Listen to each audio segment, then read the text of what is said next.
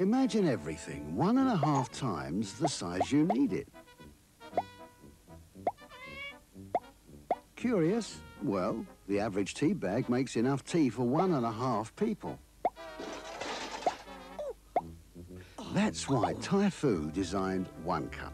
Each bag makes a perfect cuppa for one. We think you'll like Typhoo One Cup, unless you happen to be one and a half people.